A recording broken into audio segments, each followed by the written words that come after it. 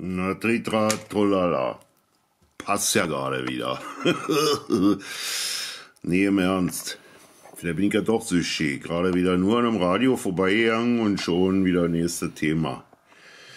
So, erstmal wollte ich hier nochmal belegen bei Sunfire Sky, was ich von den Daumen berichtet hatte, die nicht gegeben werden konnten.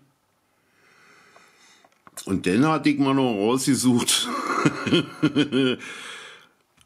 ein meiner absoluten Lieblingskommentare quasi, also die Art und Weise des Kommentars, das muss man noch mal so festhalten.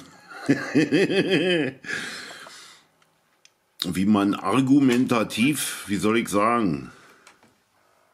So, ist das jetzt besser? Ja, ist besser.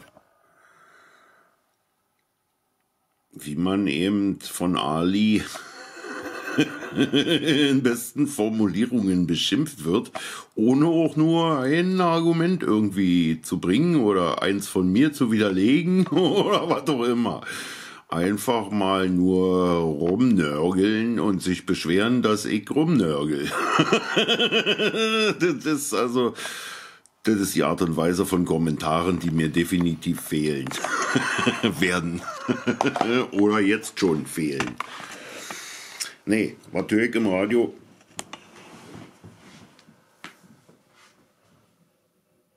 Dass die Russen sich jetzt erlaubt haben, die Annahme von Dollars zu verweigern.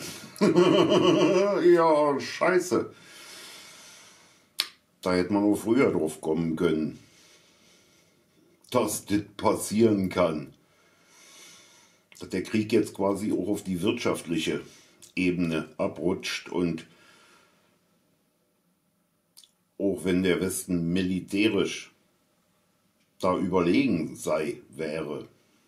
Wirtschaftlich, ich glaube, da können wir uns die Karten legen. Da ist China und Russland bestens ausgerüstet mit eigenem Geld bzw. eigenem Gold. Die amerikanischen Staatsanleihen haben sie ja sicherheitshalber schon mal verkauft.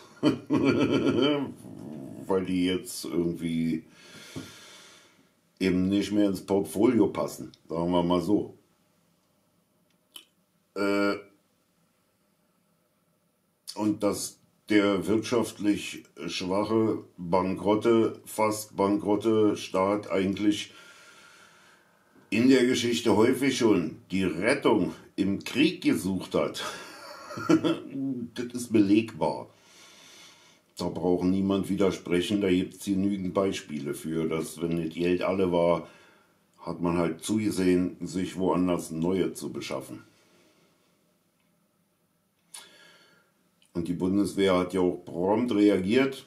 Unsere Verteidigungsministerin ist quasi angewiesen worden, sofort mal wieder noch mehr Panzerabwehrraketen und zusätzlich noch Luftabwehrraketen zu liefern. Ja, damit sind wir jetzt eigentlich schon direkte Kriegsbeteiligte. Ich sehe da mal eine massive Eskalation auf uns zukommen, weil eben wie gesagt, wenn dieses System mit dem Fiat-Geld und dem Dollar und der Ölpreisbindung an die Dollars jetzt zusammenklappt, da haben die Amis ein massives Problem, aber ein ganz massives. Und da müssen sie denn was tun. Insofern, ja, also ich sehe da nur noch eine Chance und insofern macht das gut. Bumm, den Peace können wir uns wohl jetzt irgendwie an die Backe schmieren. Aber Om, Om ist umso wichtiger. Tschüss. Ich weiß nicht mehr, wie ich jetzt sagen soll.